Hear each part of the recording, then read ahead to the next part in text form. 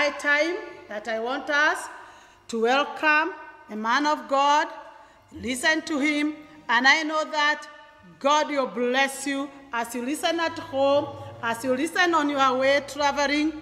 God is with you and He'll bless you. Let's have let's clap our hands and welcome the man of God.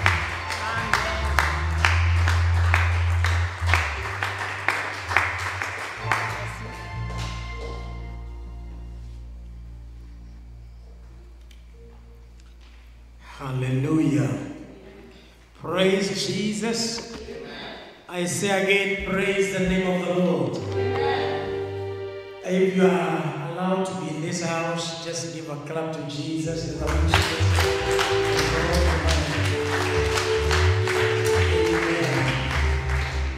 Our Father and God, we declare your goodness and your greatness this hour.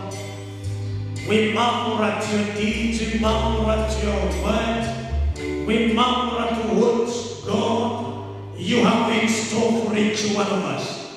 Thank you for bringing Jesus New Life Ministries, Jenelim Church, to the end of the fourth year since we entered this place. God Almighty, we declare that this far you have brought us, and we say is Ebenezer. We declare Jehovah, even the stone of memory. Say, Jehovah, you have been faithful. You have been good to us.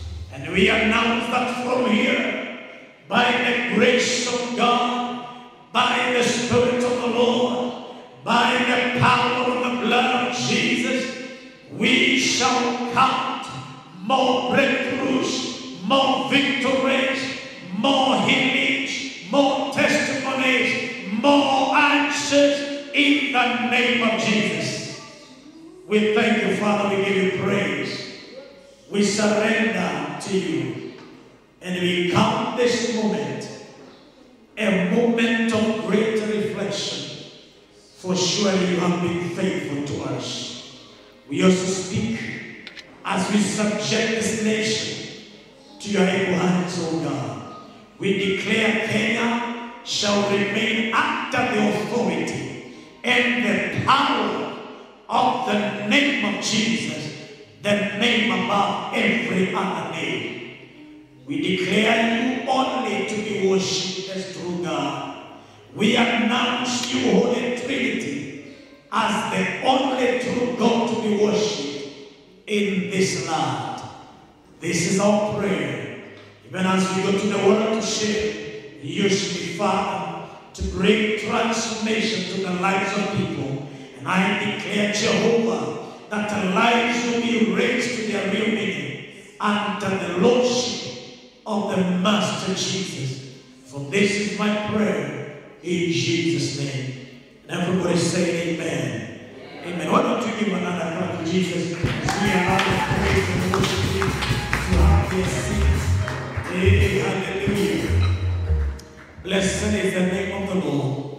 Want to thank God that today we are together again to share the word of God, to speak the word. Thank you so much. A good moment we had in the presence of the Lord in worship and through praise and honoring the name of the Lord. I want to subject to you this topic today. I'm calling it Jesus, the unshakable for the shaken. Jesus is the unshakable for the shaken. There is a specific reason why I have put it in that manner. And I want to tell everyone for sure whether you like it or not, whether you speak it or you're silent, the world has been shaken. These are realities. They are what we call the solemn facts. They are there, that there is a lot of shaking that has taken place. And we can tell by reading the signs that so many people are trying to raise so many things, but still it's not certain Even the timelines are not certain. Governments are trying to think of timings, even of when things like education systems can be back to normal, but nobody is certain. And those are signs and symptoms of a shaken community. We have to admit the fact this morning when I was dealing with the radio program, when I touched something about Hannah, one thing I say is that Hannah was very sincere. She opened up even her bitterness. She was not hiding anything. In other words, it's a high time as Christians, as the church, and as a people, as nations, we don't try to hide behind our pride, behind our thinking and, and the, the limited knowledge. We must throw our hands and surrender to God and submit to Him and accept the fact that we have been shaken.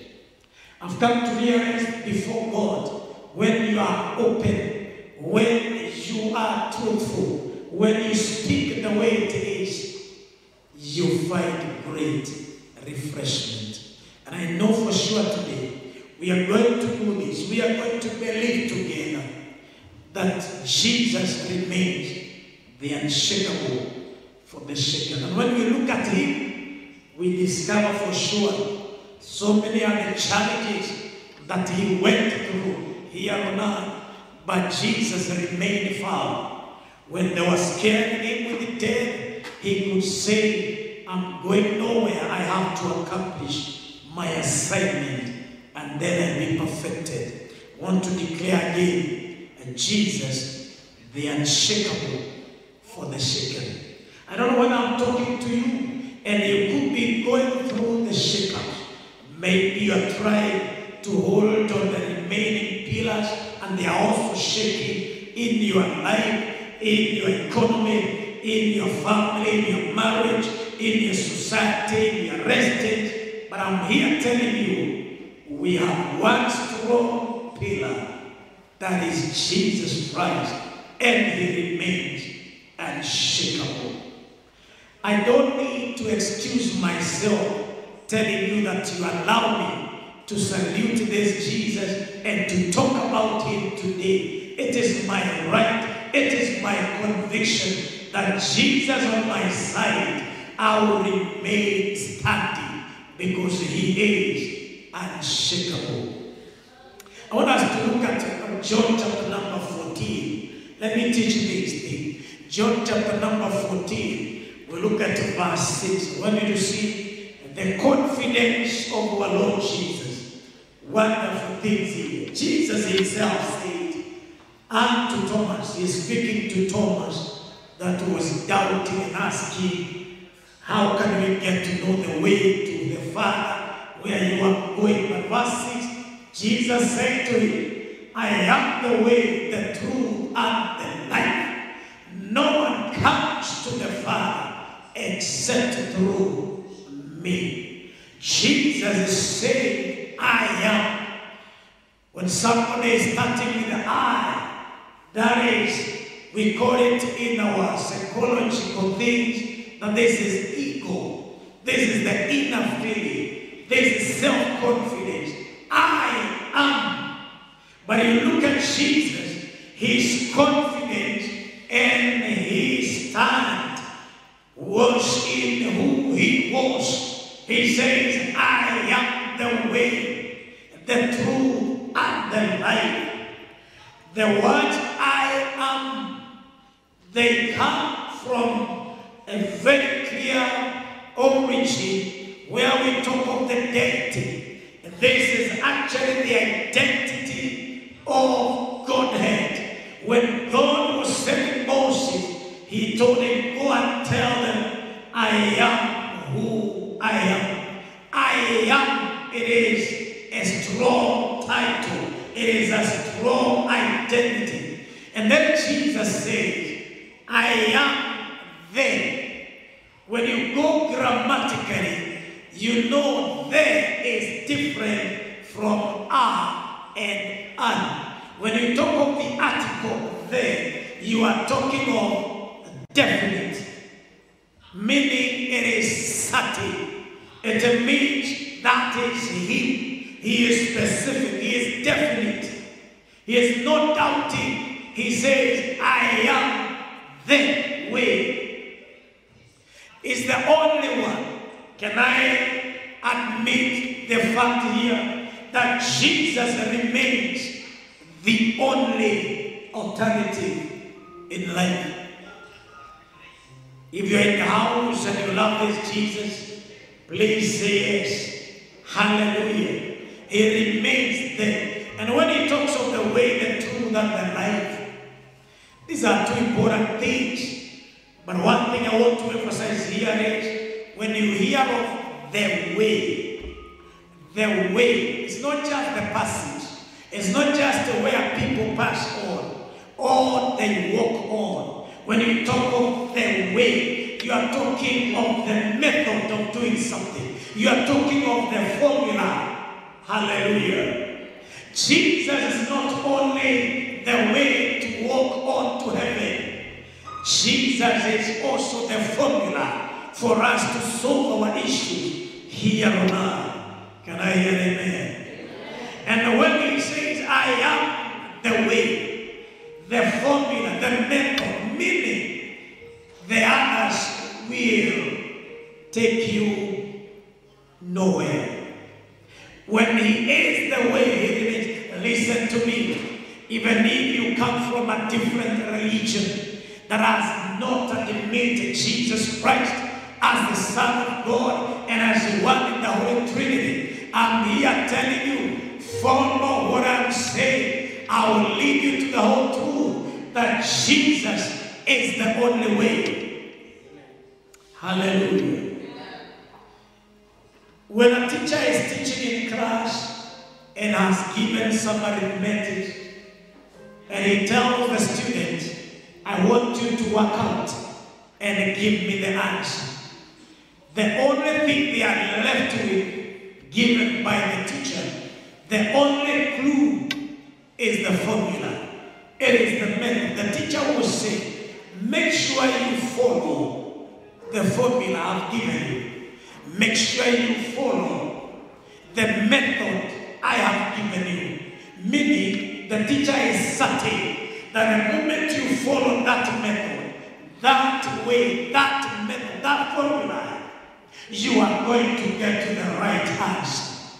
I don't know whom I'm talking to, but I sense in my spirit people will rise up and take this Jesus seriously because he is the answer to their problems. In other words, if he is the way, when the teacher says this is the way, this is the formula, it means that is where the answer is. That is the answer. That is the solution.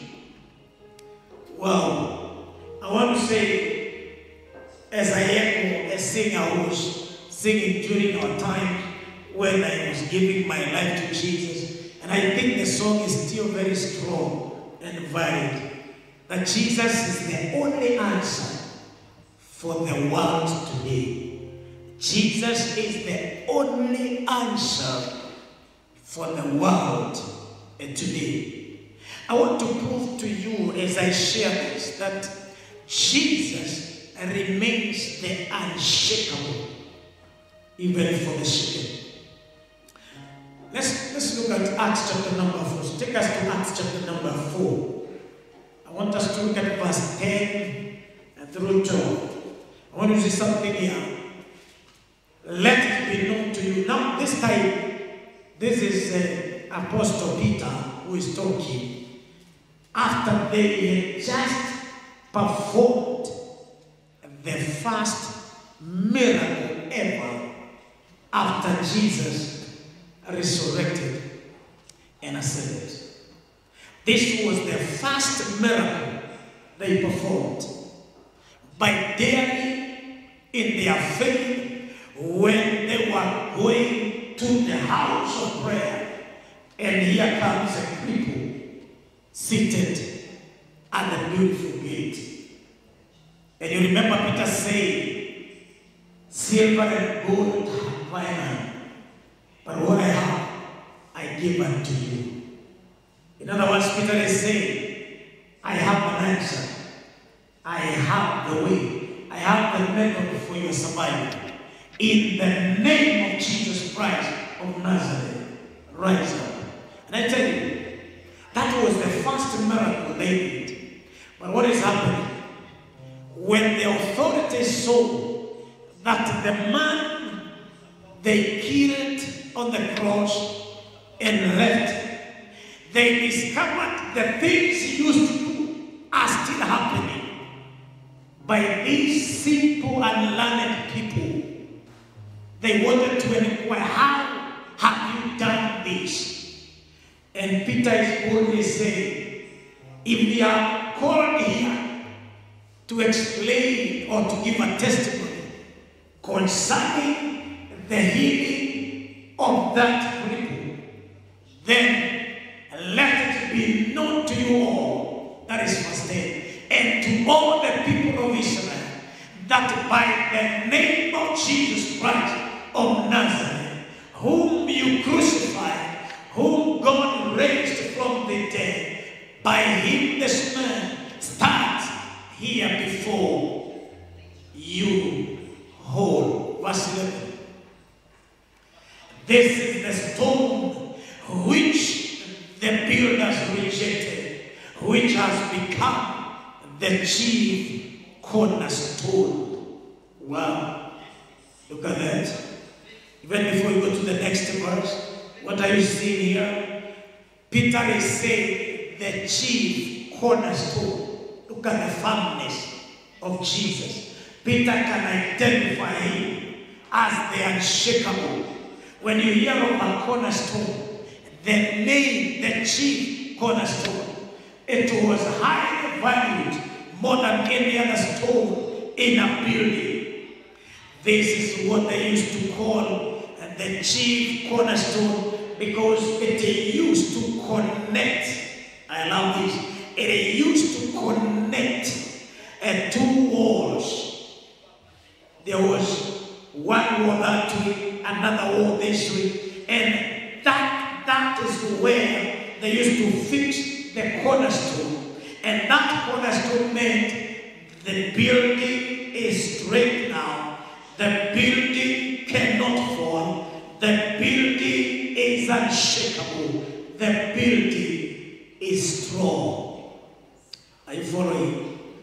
Now, when, when Peter is talking of Jesus as the cornerstone, he is saying the builders rejected him. Who are these builders? You may think it's only in the Bible, but let me tell you, right now I'm speaking. There are people who are seriously building their lives, their marriages, their businesses without considering this stone. But I'm telling you, if you are rejecting the stone called Jesus, my friend, you will not go far.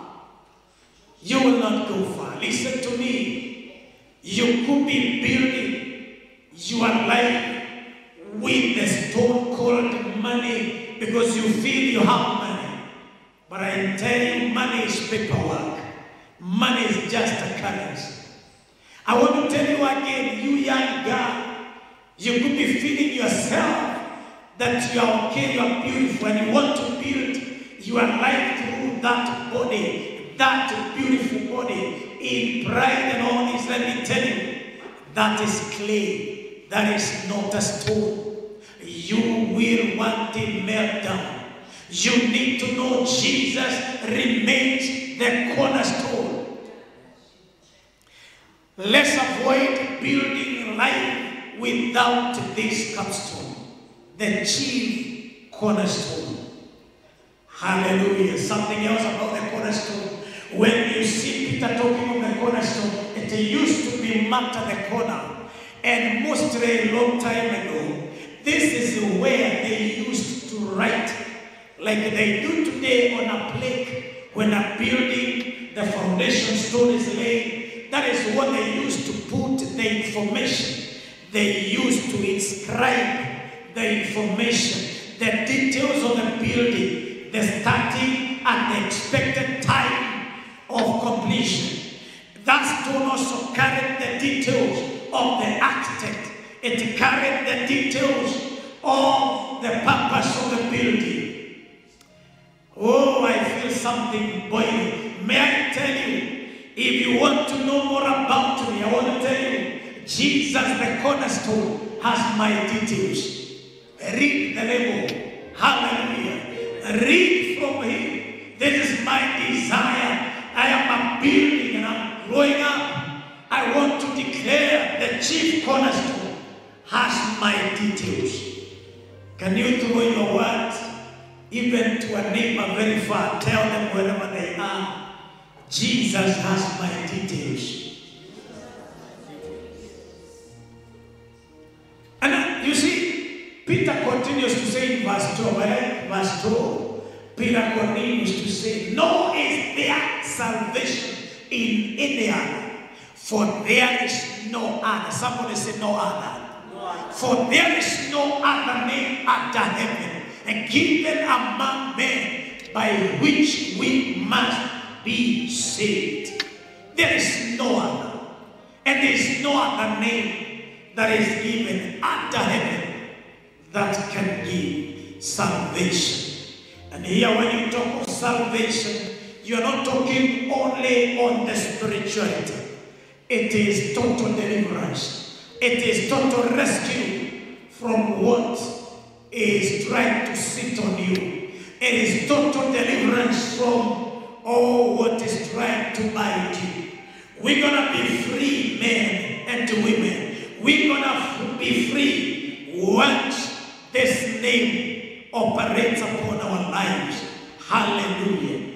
I love to show you again when they are talking about Jesus, the unshakable for the shaken. Look at what John the Baptist say in the book of John, chapter number 3 and verse 31.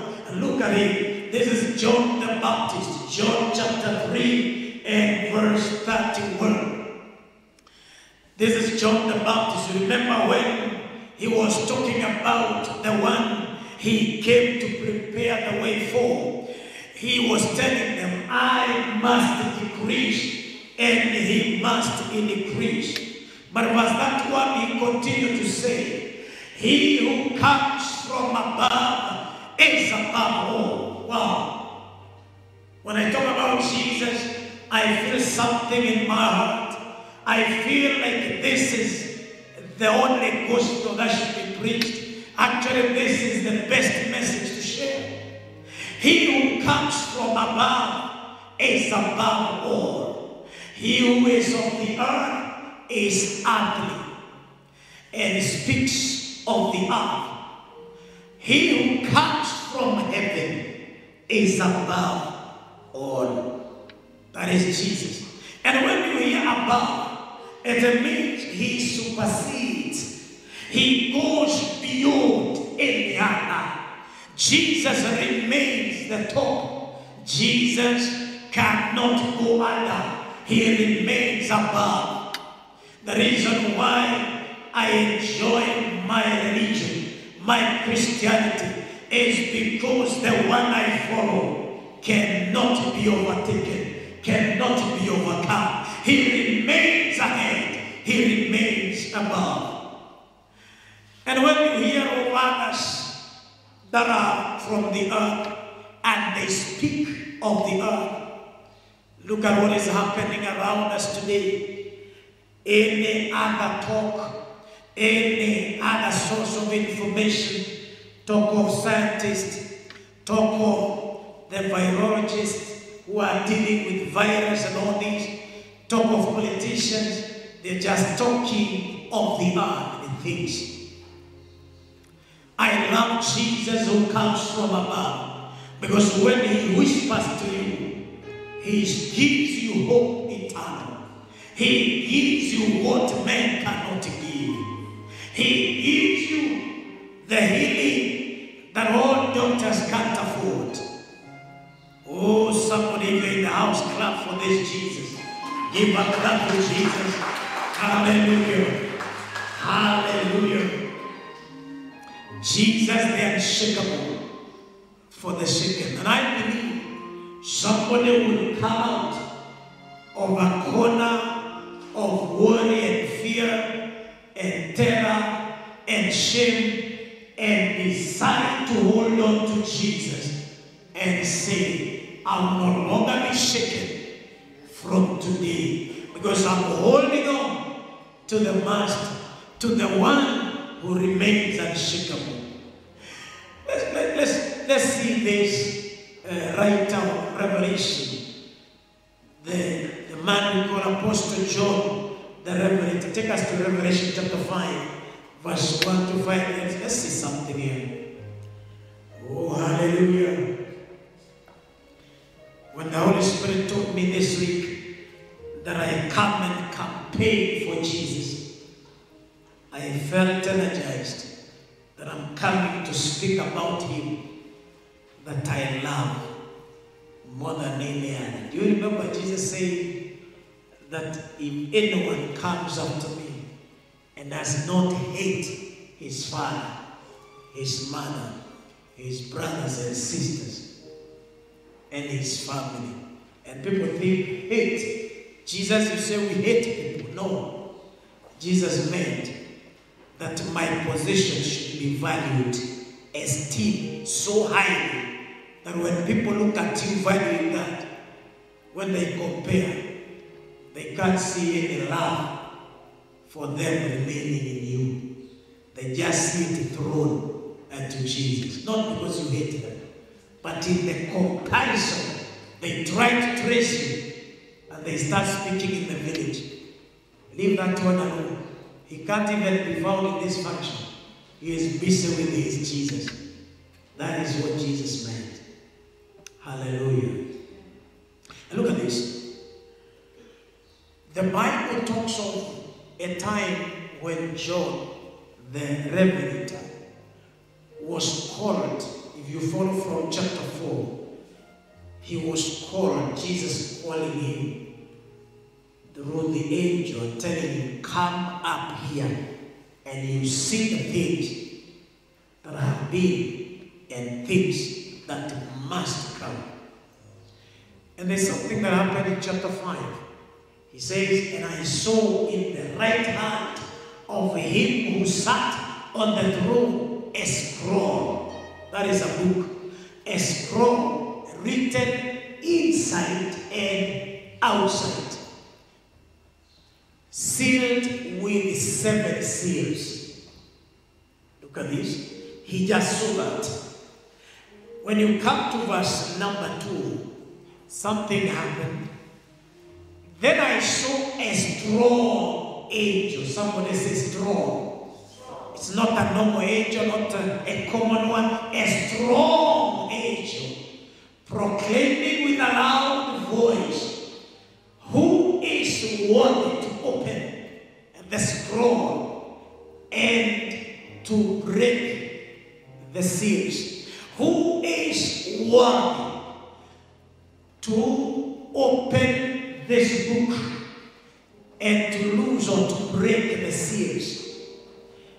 Now, before I proceed, I want to tell you when you talk of a seal, according to the, the, the, the nations we call the Eastern countries, the Middle East, when they do something and they seal it, that sealing was no joke. It was actually a covenant or an agreement that is folded in that scroll and then a seal. You remember in the time of Daniel, the king himself sealed the agreement for the destruction with his own ring, meaning nobody could break that. So when John is seeing the scroll and it is sealed with the seven seals, not one seal, seven, meaning the completeness and the strength of the binding of the rules and whatever was inside the scroll. So what will happen? The Bible says when a strong, let me let me show you something. When this strong angel is calling and asking who is worthy, meaning as strong, as strong as this angel is, he was unable to break it. He was unable to open the scroll. And I want to tell you today, when you see the strong and the greatest, even of nations and president of people, asking who will give us an answer in this. What is happening? The moment you see such questions coming from the great, then you know that the situation is totally desperate. But I want to show you something in verse 3. Look at verse 3. Will happen? And no one in heaven or on the earth or under the earth was able to open the scroll or to look at it. Not even touch it, to look at it. Nobody. No one was worthy. No one could look at it. No one could open it. So what will happen in verse 4? I pity John. Verse 4. So I wept much. I cried because no one was found worthy to open and read the scroll or to look at it. Why is he weeping? What is the funny thing about this game? John, why are you weeping? Because he wept loudly. And this is because nobody, and I want you to see this, in heaven, on the earth, and under the earth, no one. I want to say this. Today, there is a cry. There is a weeping. And I don't know how long it will take people within their status, within their feelings, within their pride, within their knowledge to realize that there is no other in heaven, on earth, or under the earth. Apart from this one, I came to campaign for Jesus Christ, the unshakable, for the shaken. There is an outcry. Today I'm looking at our country, Kenya. Oh my goodness, you find things are strange that are happening. The other day you were looking at the number increasing, not only of the COVID 19 victims, but even of early pregnancies of our children. And nobody can tell what is happening. Now, even the issue of COVID 19, if you are not aware, it has been slowly released from the national government. It is now taken to the villages. It is now taken to the counties.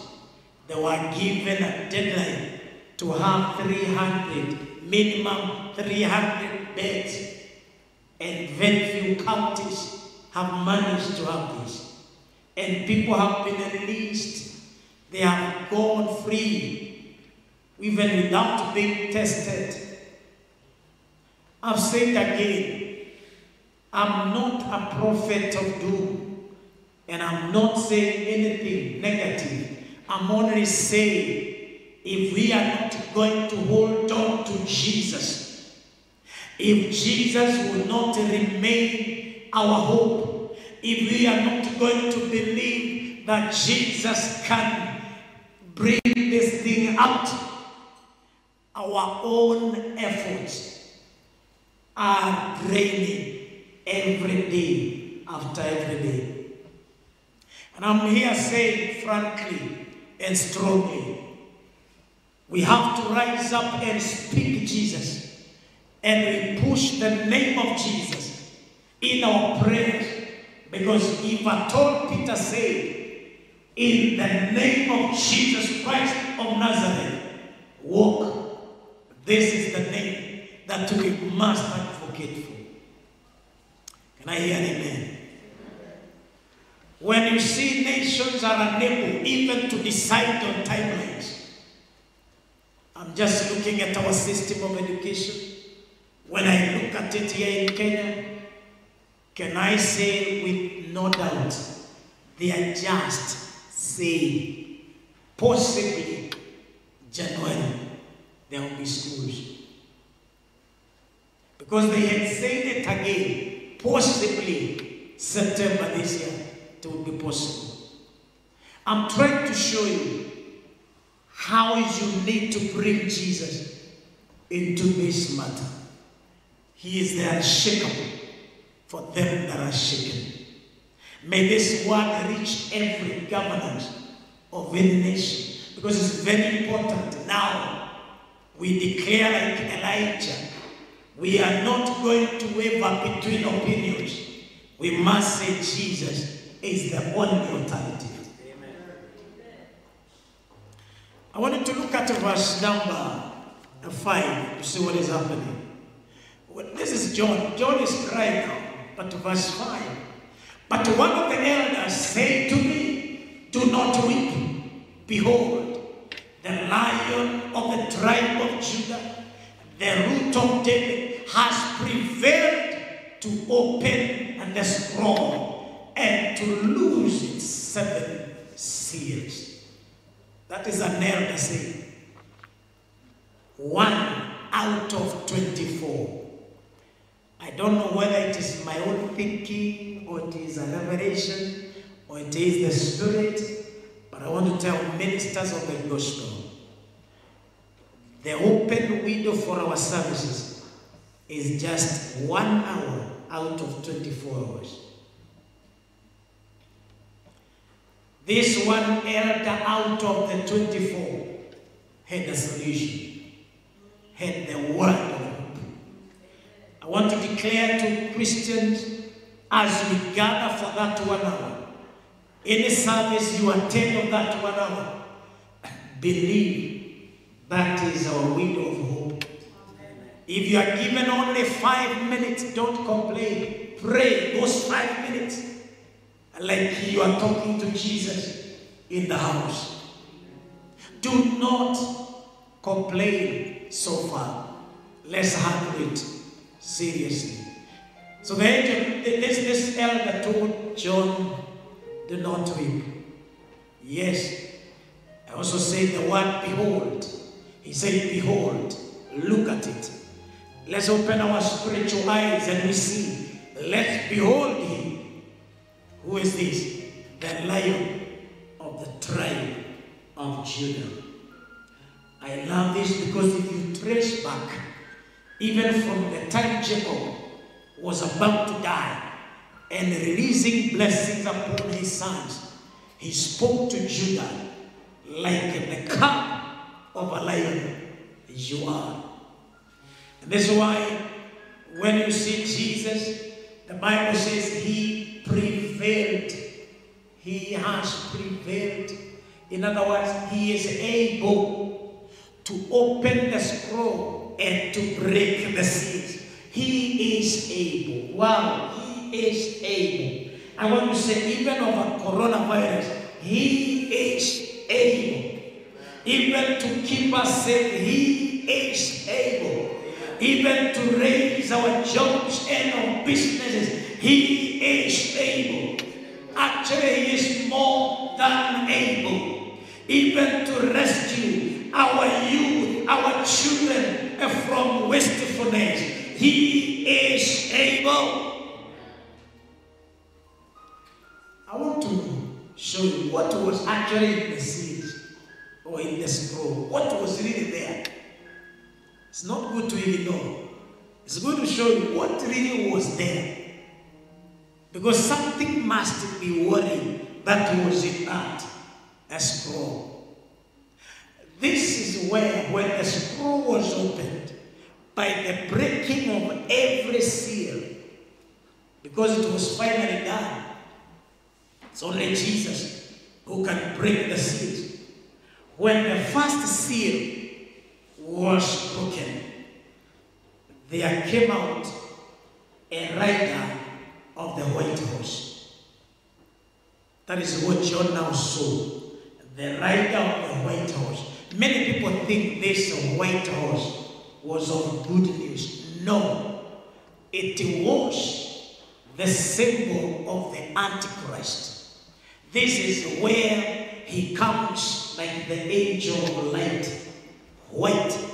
So he came in, and when you follow everything about Antichrist with the last days, you discover what mess in form of false prophets, in form of all manner of diviners, and witchcraft and sorcery, even in the houses of worship, you discover the danger of the Antichrist, even denying the true stand of Jesus Christ. When the second seal was broken, this is where there came the rider on the red horse. The red horse was war, killing a big number of people. That was war. I'm not reading from anywhere else, but this is what you find in the following chapter, chapter number 6 of Revelation and 7, ending at verse chapter 8. But look at this. After that, there was the third seal. When it was broken, then the rider of the black horse. This is where there was famine, hunger throughout the land. So when we are looking at this series breaking, you can see now what Jesus was solving. When we call him the answer, he is the one able, the lion of Judah, the root of David. You can say for sure he remains the unshakable, even to the shaken. Number four, it was a pale horse. And this one is the one that wiped a quarter of the earth's population. The pale horse riding. Number five, seal, when it was broken, the souls of the martyrs, them that were killed for their faith, they started calling and asking for vengeance, asking for how long shall we wait for vengeance. When number six was broken, when the seal number six was broken, that is when he, he saw what we call cosmic disturbances. When you talk of cosmic disturbances, it is when the environment, the nature, earthquake started, then sun turning black, and the moon turning blood red, and even the mountains and islands disappearing. That was not a simple time. It was not a comfortable time or something to look at. That's why nobody had not been able even to look at this scroll. And when the seal number seven was broken, there was silence in heaven for about half an hour. That silence meant rejuvenation of strength to bring more damage. It was the preparation of again the seventh trumpet that would be blown. I know some people following my Bible conferences have been telling me to handle the book of Revelation. The time is coming for us to handle it. But now I'm trying to show you Jesus, the unshakable for the shaken. Jesus Christ, my friends, when you look at him, he remains firm. And I think that is where we can look at. I've seen other gods falling, shaken from the scriptures. I have seen even gods and people believed to be deity, even in present day religions, failing. Some even died and never resurrected. They are still in the grave. But our Jesus remains alive, alive forevermore. Somebody shout amen. And that's why I'm show you this. When we talk of Jesus, you see him in Genesis. Genesis chapter number 3, verse 24. Let's see what will happen there. When you see after the fall of man, when Adam and Eve sinned and they fell from the glory of God, the moment they are kicked out of the Garden of Eden, they were kicked out of this garden. And many people even today wonder where this garden is. They think that is where heaven is. No, this garden is in the present day Iraq. And it is not the way it was. But I want you to know this. This was for our spiritual interpretation. That when the man was kicked out of the garden, what happened is God placed at the eastern, the eastern gate, the eastern door, he placed the angel, the cherubim, with a burning sword. Why? So that man, let's read. So he drove out the man and he placed cherubim at the east of the Garden of Eden and a flaming sword which turned every way to guard the way to the tree of life. So that man, with his stubbornness and his self confidence, will not try to get him. And why was it placed on the eastern side? It's because when you see the rising, that is where many things start coming up. It is not the setting side.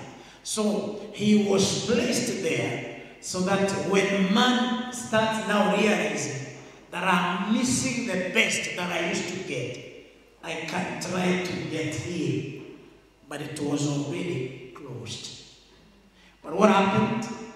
This is where you find God had said it through Moses in the same chapter 3, verse 15. You remember where it was said that the woman was told, I will put an enmity between you and the serpent, that you will, you know, the serpent will strike your heel, but your offspring will crush the head of the serpent.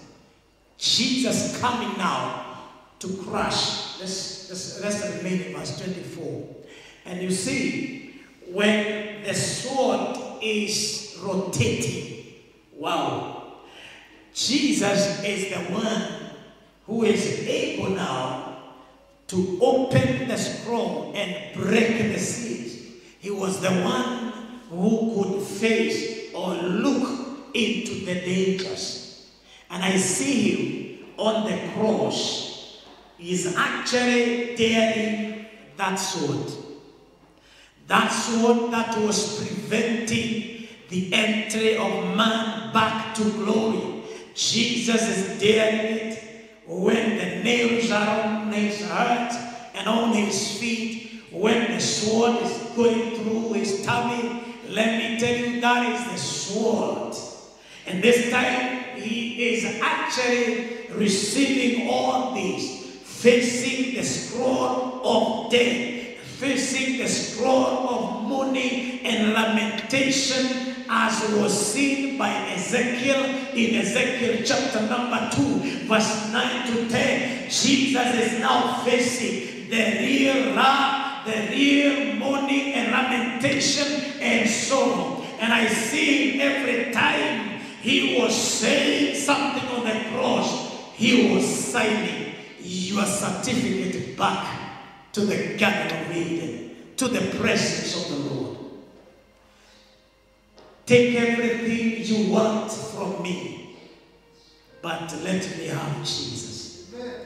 You may take everything you think, but let me have Jesus. If we could dare what nobody could, then I need to be with Him. Hallelujah. I want to bring this somewhere, maybe towards the close. That's why you say, when he said that I am the way, the truth, and the life, he added these words No one comes to the Father, oh, except through me. No one. Mark those words. No one. You may tell me, no, God is so loving. He loves all the people. You want to tell me those who believe in other religions will perish, will not get to God the Father? Yeah, I tell you the truth. No one. That's why this gospel of Jesus Christ must be preached to the whole world. According to Matthew chapter 24 and verse 14, it must be preached to the whole world. And when it reaches there, then he will come. So that nobody will be holding on to his own religion without Jesus and think he will escape. For how can they escape if they reject this great salvation through Jesus Christ? Amen. Let's close with Colossians chapter number 1. I want to look at a few things there. We close. Colossians chapter number 1, 15 through 18. Let's look at this. Who is this? Who is this Jesus? Hey, he is the image of the invisible God. That's number one. He is the image of the invisible God. You have heard the Bible talking so much about you cannot see the face of God and you live. You can't. And every time we are here saying, God, I have come to your house, I want to see your face. No people come to seek the face of God. Hello? Yes, let's go to the house of God and seek his face. Eh, eh. The Bible says very well. Actually, Exodus 33 will tell you. He was told, Moses was told, I, I will not allow you to see my face, but you can see my back. Then do you know what happens? This is the one who appears. Jesus Christ is actually the image of the invisible God. If you study so much Hebrews chapter 11 and you see where Moses was taking the children of Israel out, the Bible says he left the king without fear because he had seen the invisible God. He saw the invisible through the image, and that's why he valued the sufferings together with the children of God because of the glory he was seeing in Christ. Is somebody with me? So, number one, he is the image of the invisible God.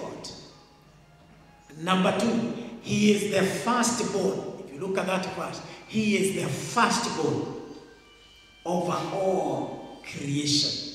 What do you mean by firstborn? Firstborn is given so many rights. Firstborn. And he is the firstborn. We are the second, the third, and the other borns. He remains the firstborn. And like the way Jesus says that he is not ashamed to be called our brother. Amen. So when you attach yourself with him, he's not ashamed. He is happy to be called your brother. Verse 2. No, verse, the number two thing you find in the other verse.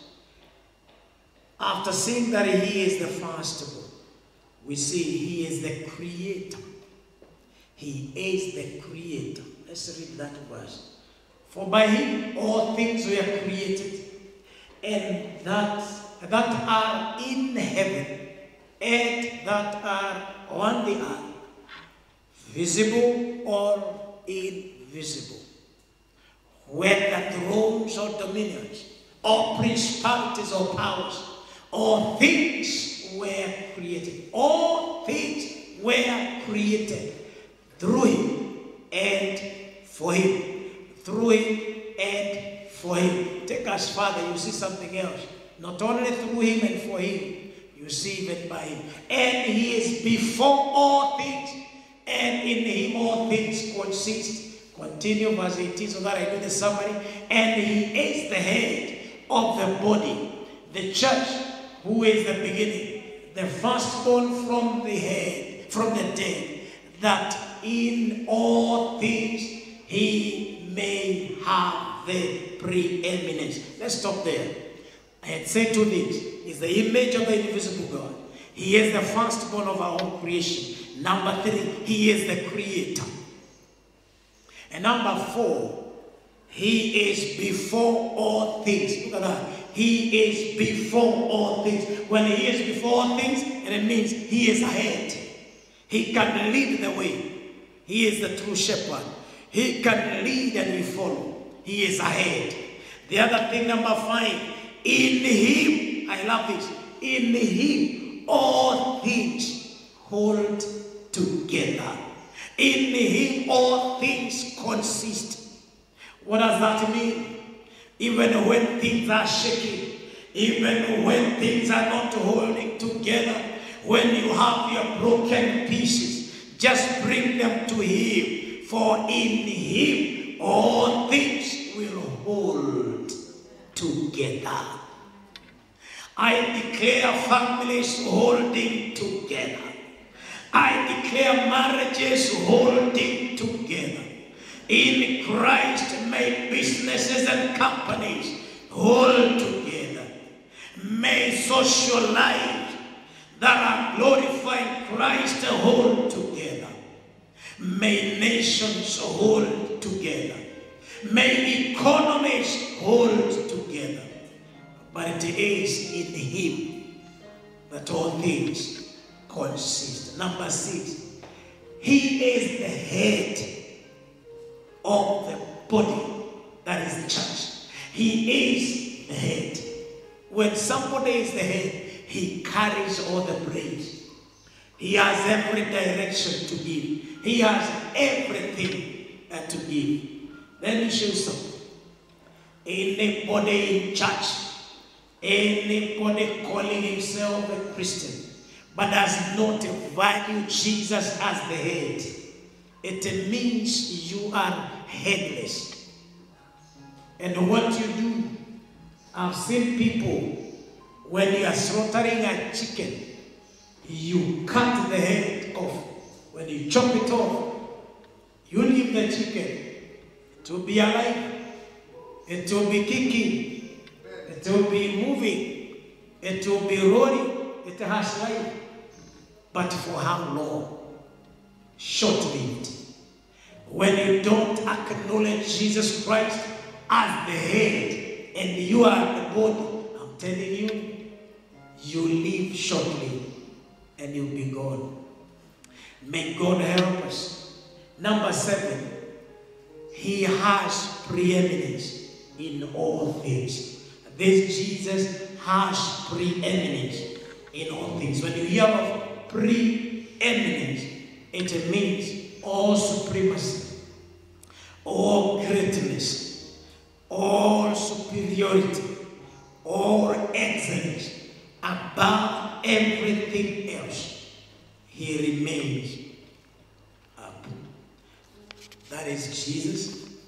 And I want to tell you, if you now go to verse number 27, I want to close there. Verse 27. Look at it. Oh, hallelujah. Where, this, where is this was sang one time that you take my fish, take my githeri, take my everything, but leave me with Jesus. Because when you are with Him, then the rest will follow suit. Verse 27, the Bible says, To them, let me read it there.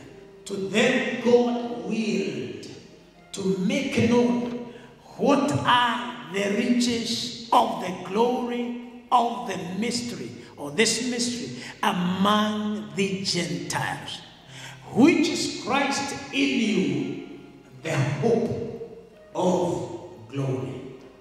Christ in you. Look at that. You know, Apostle Paul was a great man of revelation, and the things he was revealing from the Holy Spirit were so deep, and even called to preach the gospel to the Gentiles. The Jews do not understand why these things should go to the wild trees, to people who are not intended. But remember, he came to his own, and his own received him not. But unto them who received him, those who believed in his name, he gave them the power and the right to become the children of God. And that is why Apostle Paul preaching the gospel to the Gentiles, he is showing them that it was in the will of God, it was in the plan and the purpose of God to have revelation, to have revelation of this mystery released to the people. In other words, these things are revealed, and the whole thing, the mystery was Christ in you, not outside you. Christ in you, and the hope of glory. Which word can sound better today than the word hope?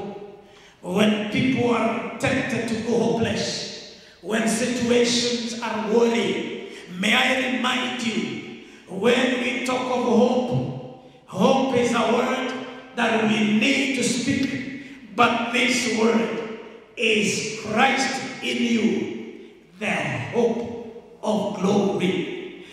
In other words, it's not a hope that will diminish. This hope will remain glorious. It will extend shining. It will continue. And thank God for them that are within Christ.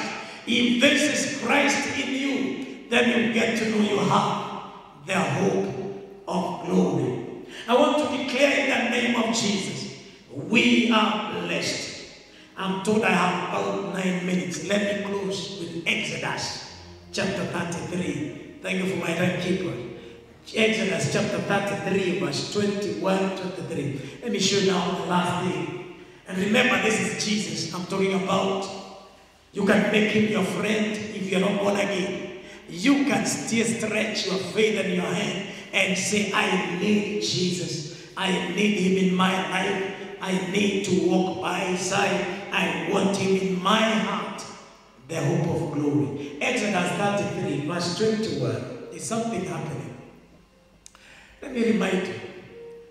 This time when people like the words of Moses, when Moses was telling God, if you are not going with us, dare us not to leave this place. We are not going up if you are not going with us. And he kept nagging, and he used the word nagging, God, that you must show me who is going with me. And as they were talking, God told him, My presence will go with you. And he continued insisting. And then God told him, verse 21, and the Lord said, Here is a place by me. Here, there is a place by me. And you shall stand on a rock. Somebody say amen.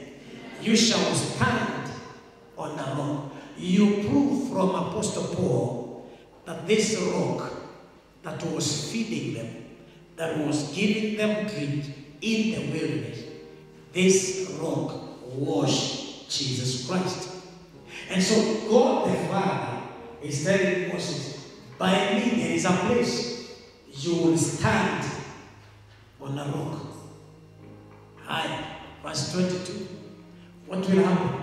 Then God said, So it shall be when my glory passes by that I will be, I will put you in the cleft of the rock. Oh, the rock of ages. Look at it. God is saying, I will put you inside the cleft. So, in other words, I will crack the rock so that you get inside there, inside, in between the discomfort of the rock. You'll be there. Because what you're asking is too senior. You will get it. But I will put you there. And then will I do? And will cover you with my hand where I pass by. Verse 23. Then, after I have passed by, I will take away my hand, and you shall see my back, but my face shall not be seen. Hello? What does that tell you? God insists that if you want to see anything about His presence, you must be soaked in Jesus Christ. You must be immersed. You must be in. And let me tell you, Christians, many Christians want to be baby Christians. They don't like this experience because there are no cracks a rock that are smooth. You may find yourself squished, but that is the shaping.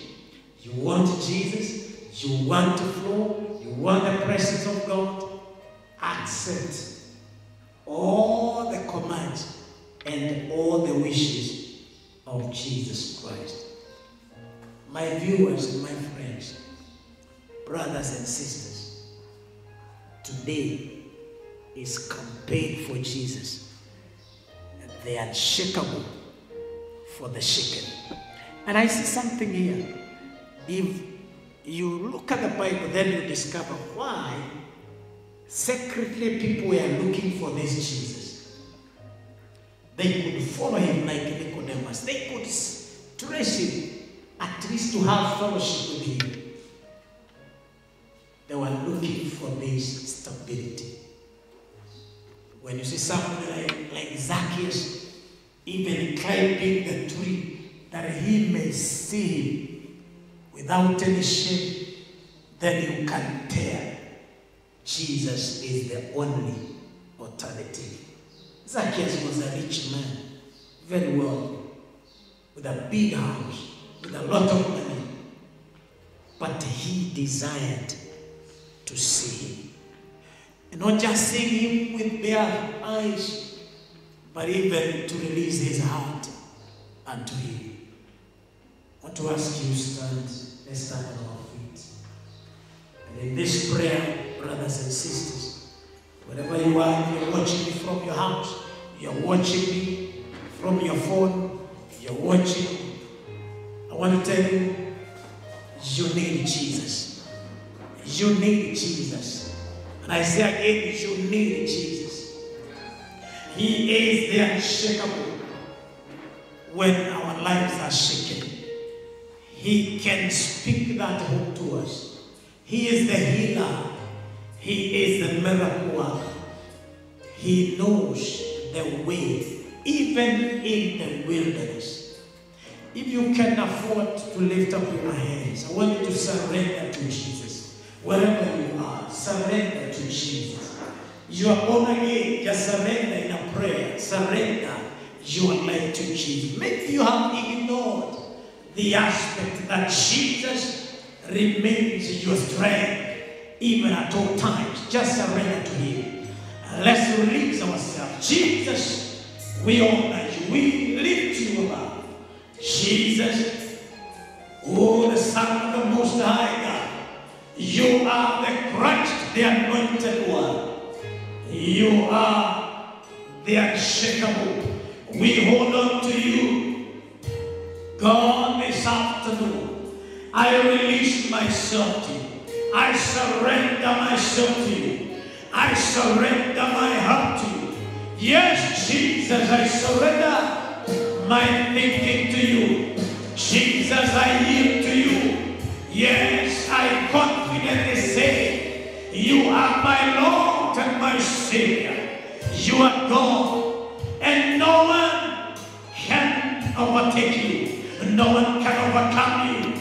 Jesus, you remain at the top. Yes, you are the image of the invisible God. Father, this is our prayer today that you help us. Help us, Lord, help us. Help our lives in the name of Jesus. We surrender to you. help our nation, help our government, help even the leadership of our nation, help the body of Christ, to help families. Jehovah God, even through the shaking, we want to declare, yes, that the remnant shall stand and they shall overcome every city. For Jesus, you are on our side. Lord, I thank and I give you praise. I give you all the glory. Even if I shout the name Jesus, I declare you are elevated, you are lifted up, you are lifted high, high above. For he who comes from above is above all. Thank you, Lord Jesus. We thank you. We worship you, God our Father. Thank you that you provided our rescue. You provided a pardon for our sins. You gave us the best. You gave us the only alternative, and that is Jesus Christ, the unshakable. I want to request that mood if you are watching me, you are listening, and you have never given your life to Jesus wherever you are. I want you to say this prayer after me. Say, Jesus, the Son of God. I come to you just as I am.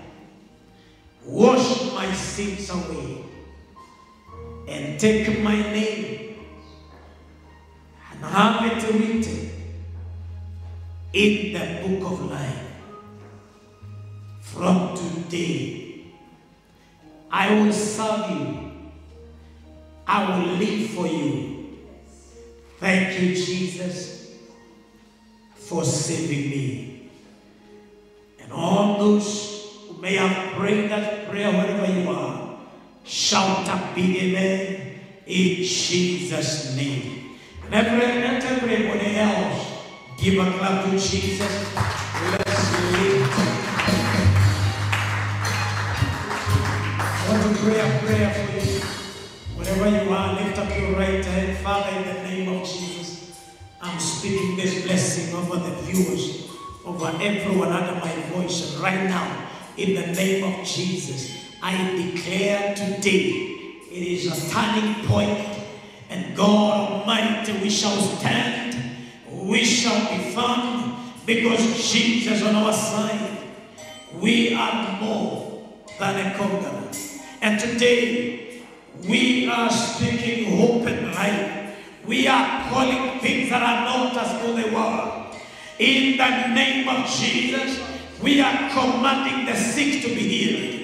In the name of Jesus Christ of Nazareth, we are commanding hope to the hopeless. In the name of Jesus Christ of Nazareth, we are declaring a rising up to them that are low. In the mighty name of Jesus, we declare even to the nation of Kenya, there shall be the way forward, there shall be hope, there shall be peace, there shall be life. Oh, in the name of Jesus.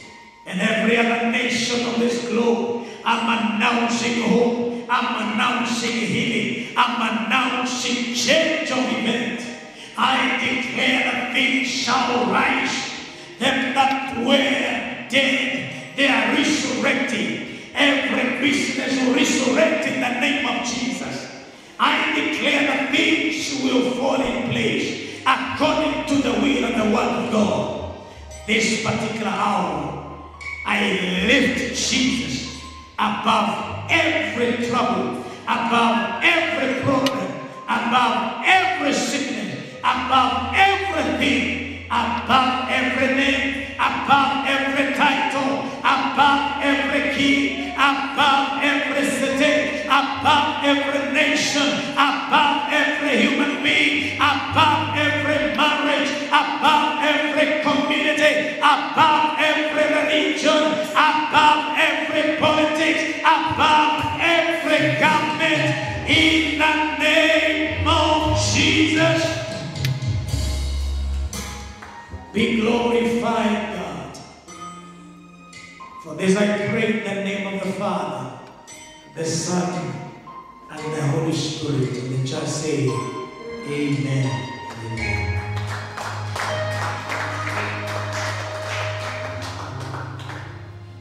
God bless you, my viewers. Thank you for watching.